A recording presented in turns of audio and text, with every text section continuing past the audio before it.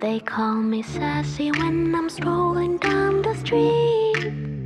They call me classy when I'm serving just the best. I can be deadly when I find somebody lovely. And now I'm ready like a kitty in a dress. Don't call me mean, just want someone to love me. Someone to lick my wounds and kiss my aching body. My desperation knows no termination, baby. Now, would you love me if I was somebody else? Wish I had a tail. Wish I had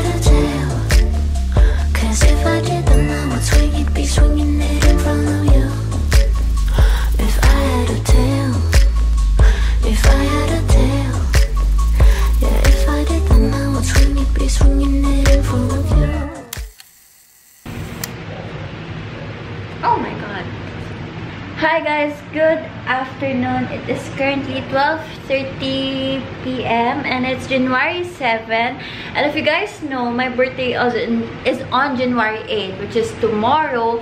But today, we will be celebrating my birthday since it's a Saturday. Kasi naisip namin kung bukas namin siya isa-celebrate like ng sakto, baka maraming hindi makapunta. Actually, nag-aayos na ako. Ayan, mayroon na akong hair rollers here. Pero hindi pa ako naliligo kasi mag-face mask pa ako. Yeah, the celebration is going to be simple lang. It's not going to be like the bonggang debut, ganon. Pero it's going to be a pool party with some of my close friends and some of my relatives. So, ayun, I'm really excited. Mamaya pa ako pumunta doon because the party or the celebration or the dinner will start at around 6 p.m. and it's currently like 12.30 pa. So, let's say hello.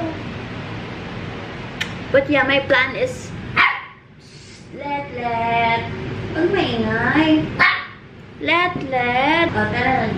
My plan now is to get ready. I want to put a face mask on para mamaya my skin looks really good under my makeup. I'm gonna update you guys later sa mga ganap and I'm hopefully makapag-vlog ako ng maayos later sa party but you know, I'll try to film as much as I can but yeah. Yeah. Say bye-bye.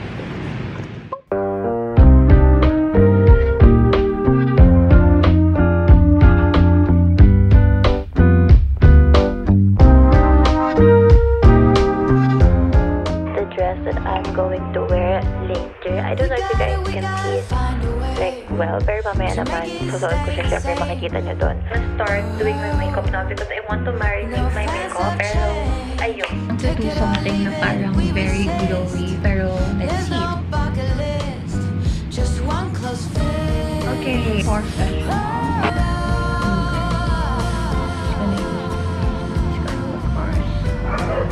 Like an old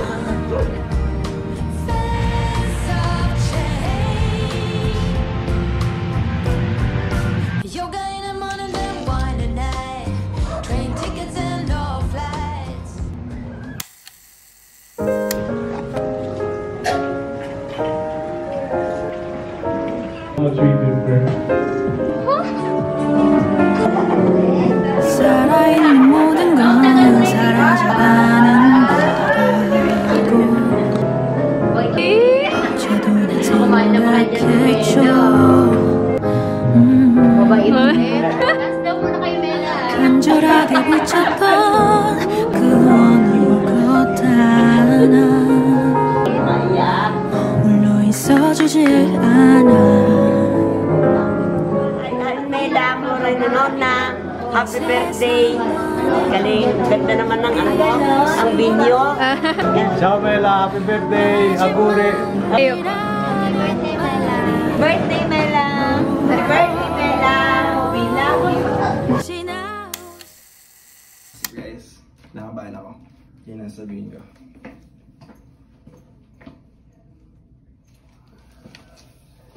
Ah, surprise namin ngayon si Carmela. I mean ako. Kasi it's her birthday and bansa din namin. So, surprise, surprise.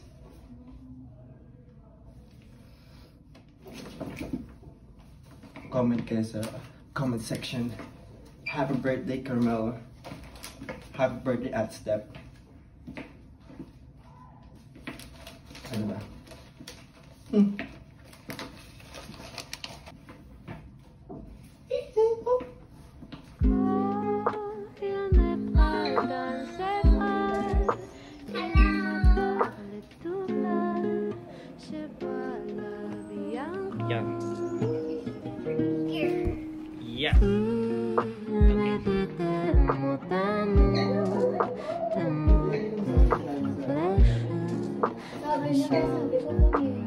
So guys, a little message. I just want to thank everyone for becoming a part of my special day. I'm usually the type of person who doesn't like having parties on my birthday, but this is an exception. I'm really grateful for my friends who planned and prepared my party. Even if stress na stress na sila kasi nasaspoil na ni mama sa akin yung surprise. To JP, Tita, and Tito, thank you Bal, and thank you po. To my mama, kuya, and papa, thank you for supporting me since day one and for being by my side all the time. And of course, thank you to you guys for your support and love. I know I've been inconsistent with my channel, but thank you for your patience and I will try my best to be better this year. Without everyone, I wouldn't be here right now. And again, thank you everyone and happy 18 to me. Il